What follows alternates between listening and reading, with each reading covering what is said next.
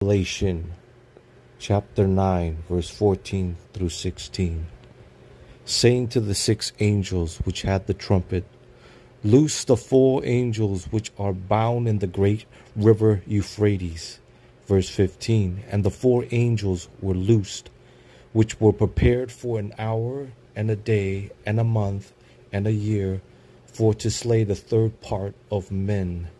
verse 16 and the numbers of the armies of the horsemen were two hundred thousand thousand and i heard the number of them